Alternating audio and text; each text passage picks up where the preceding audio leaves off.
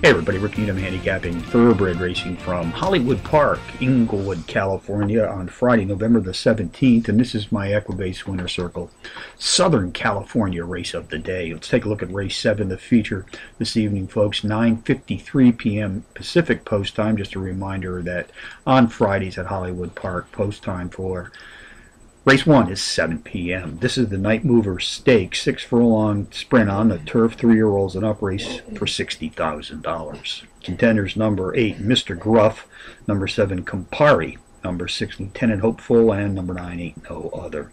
Number 8, Mr. Gruff, is won an impressive 5 of 6 starts sprinting at 6 furlongs on the grass, has hit the board in power run fashion in 4 of his last 5 outings overall, winning 3 times in this recent streak of racing consistency. Jockey Joel Rosario has been in his irons on 6 previous occasions, hitting the board in each, winning 5 en route to a positive 105% return on process.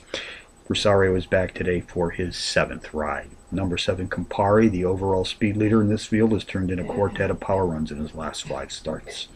Race seven summary, number eight, Mr. Gruff, tops my contenders list, which also includes number seven, Campari, number six, Lieutenant Hopeful, and number nine, Ain't No Other, 8769, in the seventh from Hollywood Park, the $60,000 Night Mover Stakes.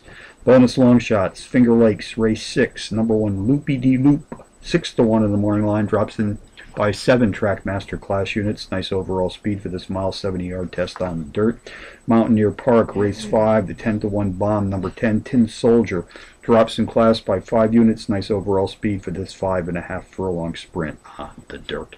So from Hollywood Park on a Friday night, Rick Needham for the Equibase Winner Circle, reminding you as always to please bet with your head, not over it.